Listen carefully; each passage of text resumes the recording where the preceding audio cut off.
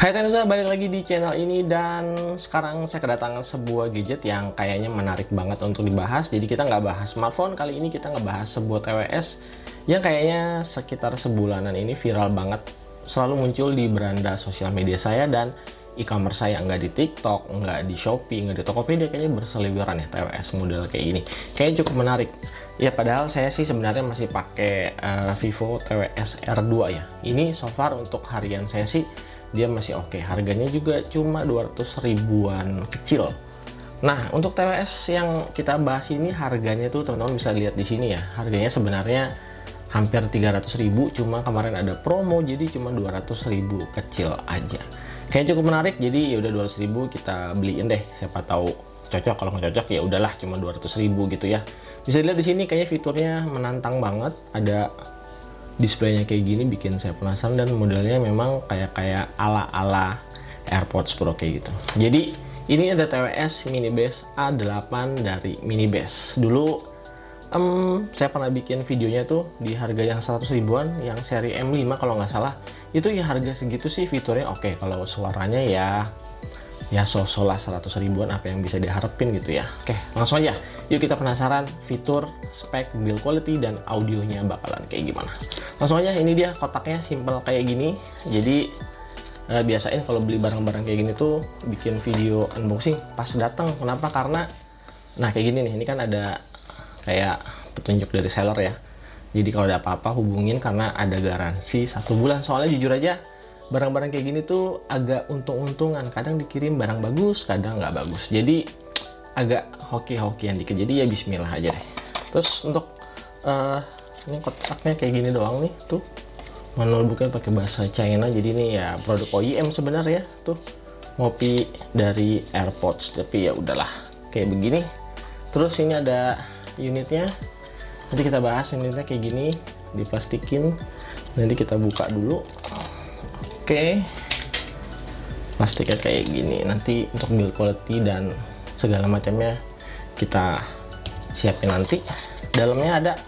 Wih keren. Dalamnya ada ini apa sih? Lanyard ya? Lanyard atau lanyard. Ini gantungan itu sih. Tangan gitu. Kayak strap bisa dipasang di uh, ya bisa dipasang di bagian sini. Keren sih harga segini dikasih lanyard kayak gini. Terus ini uh, kabel charger USB C to C saya nggak pakai saya pakai bawaan dari smartphone aja. Terakhir ini kita dapat ear tips cadangan ada 3 SML jadi kalau biar fitting lebih enak ya tinggal dicocokin aja. Sisanya gini aja udah nggak ada charger jadi charger harus bawa pakai sendiri. Oke, jadi ini dia penampakan case dari TWS Mini Base A8 Pro. Tampilannya jelas ya, ini seperti AirPods Pro, nggak diragukan lagi. Bentuknya AirPods Pro banget. Jadi perbedaannya paling bisa dilihat di sini. Ini ada agak cekungan gini ya di bagian tutup case ya. Ada tulisan Mini Base dan di bawahnya ini ini tuh layar LCD yang nanti bakalan kita cari tahu fungsinya lebih dalam. Untuk tampilannya kayak gini ya, tuh. Dia ada lubang untuk strap gantungan tali, di bawahnya ada port USB Type-C dan speaker case dan di belakang ada tombol power 1. Jadi tampilannya kayak gini. Untuk build quality sebenarnya sosok ya, harga 200 ribuan masih bisa diterima. Tapi yang jadi pertanyaan adalah build quality. Nanti kalau jatuh misalkan nggak sengaja, kayaknya plastiknya tuh kurang meyakinkan. Jadi hati-hati kalau sampai jatuh nih khawatir pecah dan ya nggak bisa nyala, nanti nggak bisa dipakai. Jadi pastiin kalian hati-hati. Saya nggak tahu apakah mini base atau aftermarket jual case-nya, tapi kalau ketutup case biasanya layarnya jadi ketutup, jadi kurang kurang bisa kelihatan layarnya. Jadi ya pastiin aja jangan sampai jatuh. Oke, langsung ya kita coba buka dulu. Nah, ternyata yang bikin keren nih ketika dibuka kayak gini. Jadi ketika case-nya kebuka atau case-nya ketutup, dia tuh ada fitur semacam animasi ya tuh. Ketika dibuka case nya kebuka gini. Dia ikutan kebuka. Ini keren sih di harga segini kayak begini tuh keren. Terus kalau kita cabut earphone sebelah kanan nah animasinya ngikut ya. Earphone sebelah kanan diangkat. Kita taruh balik gini earphone-nya kembali. Sebelah kiri kita ambil. Tuh animasinya bener-bener smooth ya nggak lagi-lagi dan responsif. Kita angkat dia langsung kasih animasi. Ini menurut saya segini sih. Keren sih. Ya. Oke sekarang kita coba cek-cek bagian earphone ya untuk earphone-nya ini masih sama ya. AirPods Pro wannabe mirip-mirip seperti AirPods Pro. Terus untuk ear tipnya nanti disesuaikan aja supaya fitting di telinganya lebih oke. Okay. nah dia menarik dia punya in-ear detection. Jadi sensor-sensor yang hitam-hitam ini tuh ini in-ear detection. Jadi kalau dipakai di kuping ketika musik nyala gitu ya dicabut nanti musiknya stop. Kita pasang lagi musiknya nyala. Dia otomatis mendeteksi in-ear detection. Di bagian sebelah sini nih buat teman-teman yang belum tahu mungkin ini kayak ada area kecil ini ini touchpad multifungsi. Jadi bisa di slider ke atas gini buat uh, ngedein volume di bawah gini untuk ngurangin volume. Dan kalau kita tap satu kali dua kali atau tiga kali biasanya untuk navigasi menu di music player. Jadi keren. Kalau untuk earphone-nya ini no issue ya. Ini keren sih saya udah uh, saya udah coba juga. Ya fitting di kepalanya enak karena kan dia nggak perlu bikin desain baru ya. Tinggal contek aja tuh desainnya AirPods Pro dan fittingnya enak. Oke lanjut. Sekarang kita akan lihat uh, fitur apa aja yang ada di layarnya. Ya tapi, tapi sebelumnya kita coba koneksiin dulu ya untuk koneksi Bluetoothnya ini sebenarnya relatif gampang ya.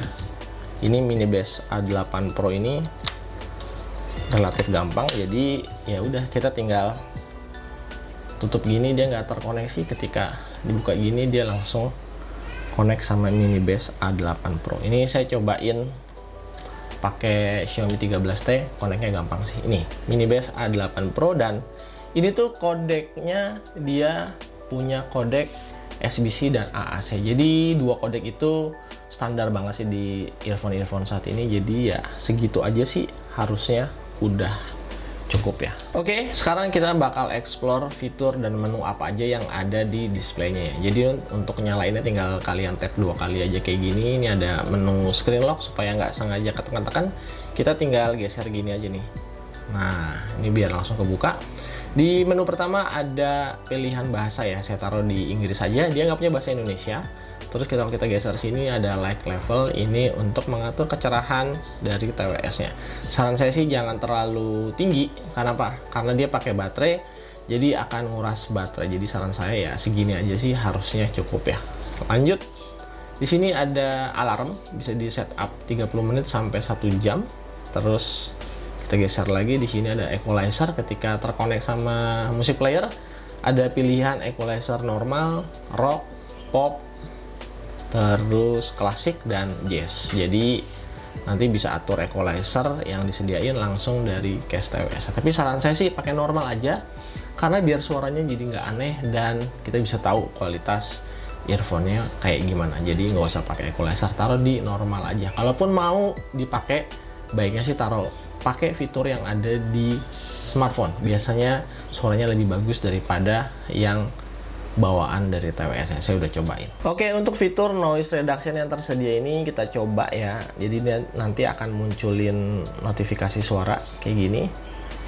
NNC on jadi ini untuk ANC nya ya kurang lebih desibelnya memang kecil ya. Paling bisa ngurangin 3 sampai 5 desibel. Terasa sih kalau pakai dua terutama untuk ngurangin angin ya. Tapi untuk suara-suara kayak orang orang yang lagi lewat kendaraan itu nggak bisa hilang 100% masih kedengeran tapi untuk angin aja sih itu terasa banget sih. Lumayan terasa ya di kuping.